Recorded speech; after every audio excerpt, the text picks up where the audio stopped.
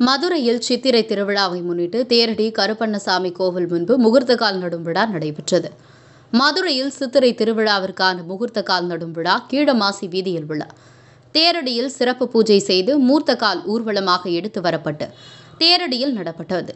இந்நிகழ்ச்சியில் மீனாட்சி கோவில் துணை ஆணையர் அருணாச்சலம் கோவில் பணியாளர்கள் கலந்து கொண்டனர். இவ்விழாவை தொடர்ந்து கோவிலின் சித்திரை திருவிழாவிற்கான முன்னேற்பாடுகள் தொடங்க உள்ளன. மேலும் மதுரை மீனாட்சி அம்மன் கோவில் சித்திரை திருவிழா ஏப்ரல் இருபத்தி மூன்றாம் தேதி. கொடியேற்றத்துடன் தொடங்க உள்ளதாக கோவில் நிர்வாகம் அதிகாரப்பூர்வமாக அறிவித்துள்ளது இந்தியாவின் புகழ்பெற்ற மிக பழமையான கோவில்களில் ஒன்றான மதுரை மீனாட்சி அம்மன் கோவில் திருவிழாக்களில் சித்திரை திருவிழா மிக முக்கியமானது.